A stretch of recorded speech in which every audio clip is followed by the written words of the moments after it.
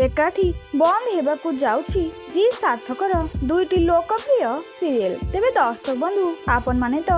G ସାର୍ଥକର ସବୁ serial ଗୁଡ଼ିକୁ ନିଶ୍ଚୟ ଦେଖୁଥିବେ ତେବେ ଏହି ଲିଷ୍ଟରୁ ବାଦ୍ ପଡ଼ିବାକୁ ଯାଉଛି ଦୁଇଟି ସିରିଏଲ ତେବେ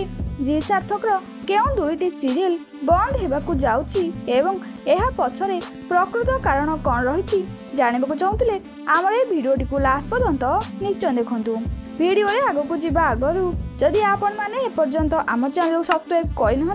তেবে এবে সবসক্রাইব করে পাখর থাকা বেল আইকন কু প্রেস করে দিও তেবে দর্শক বন্ধু আপন মানে জাঁথিবে কি সরিবাকু যাচ্ছি শ্রী সিরিয়াল তেবে পূর্বর এই সিরিয়ালে লিডরে হরিহর দাস এবং অরুন্ধতী দেবিকা নজর আসুলে মাত্র দেবিকা অধারু এই সিরিয়ালটি ছাড়া পরে লিড হিরোইন ভূমিকার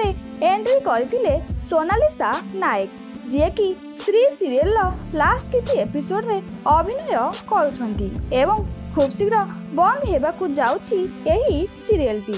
ଏବଂ ଆଗକୁ ଦର୍ଶକମାନେ ଏହି ସିରିଏଲ୍ ସମୟରେ ନୂଆ ମେଗା ଧାରାବାହିକ ତୁମ ବିନା ଦେଖିବାକୁ ପାଇପାରିବେ